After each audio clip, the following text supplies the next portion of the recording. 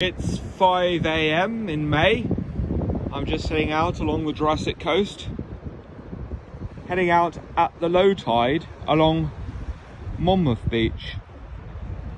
And I'll look to see what I can find. See what the sea's washed out on quite a stormy day in May.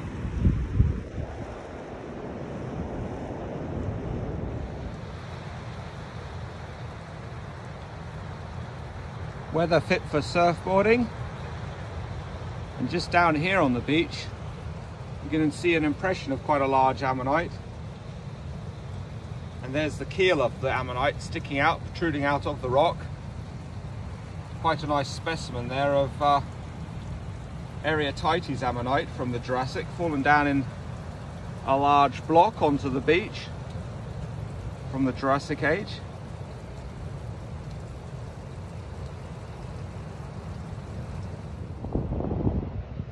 Some fossil wood, monkey puzzle tree from the Jurassic age. I'm looking in between the rocks now for the fossil finds on this uh, section. See what I can pick up through these parts. Quite nice ammonites on the rocks. Ah, I spotted a oyster shell there from the Jurassic age. Also nicknamed Devil's Toenails.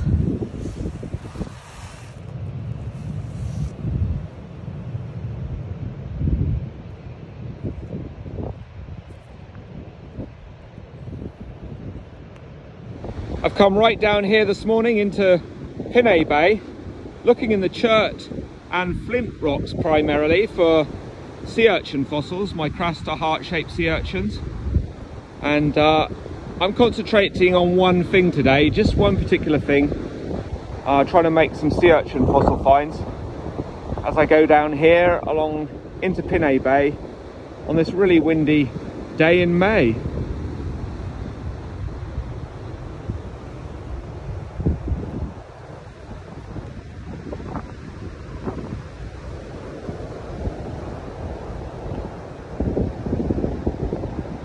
It's one of the ammonites on the limestone block eroding away.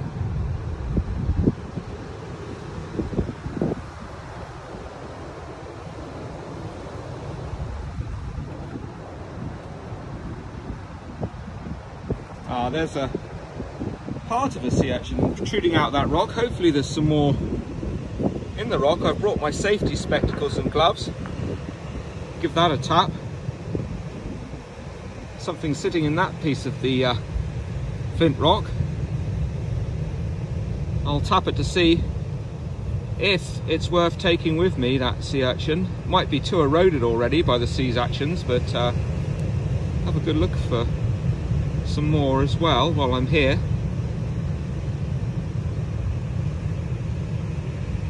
Here's a flint sea urchin. I've got my sturdy rubber gloves on for breaking this uh, rock and some safety spectacles. Give it a sharp tap with the uh, hammer. This flint is uh, very hard rock.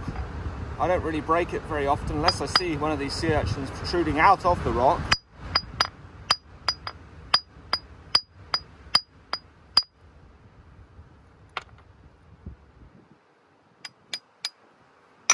There we go.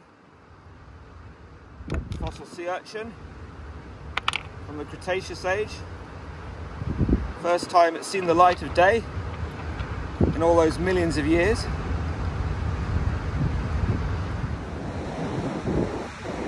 A lovely stormy day along the Jurassic coast. I've just come down to the water's edge to uh, wash the sea urchin fossil find.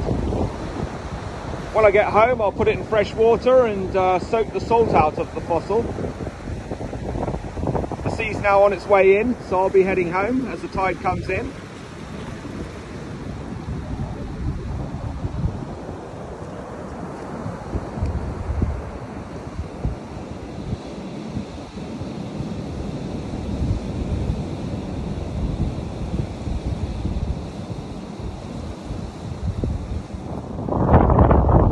On my way back, I'll show you a really nice area called the Ammonite Pavement as we head down along the coast back to Lyme Regis.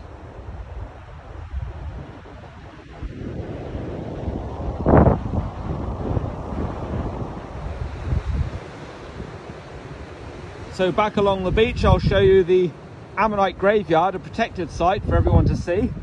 Come and have a look at it as I go back towards Lyme Regis today.